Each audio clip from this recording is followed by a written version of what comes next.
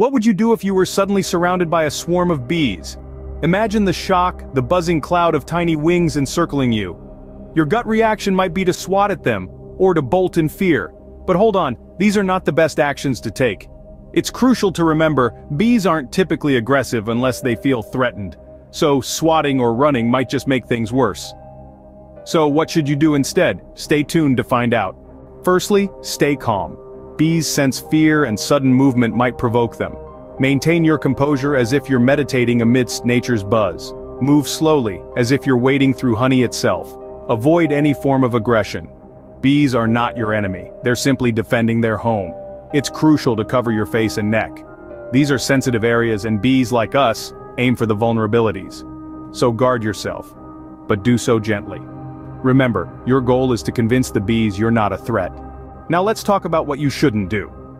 When faced with a swarm of bees, it might be your first instinct to swat at them or attempt to flee. However, these actions only serve to provoke them further. Believe it or not, bees are more inclined to chase a moving target.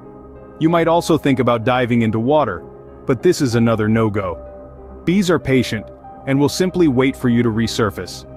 Avoid these actions, and you'll increase your chances of escaping unscathed. So to recap if you're surrounded by a swarm of bees, first, keep your cool. Panicking won't help. Move slowly, avoid sudden gestures that could trigger them, shield your face and neck, areas most vulnerable to stings.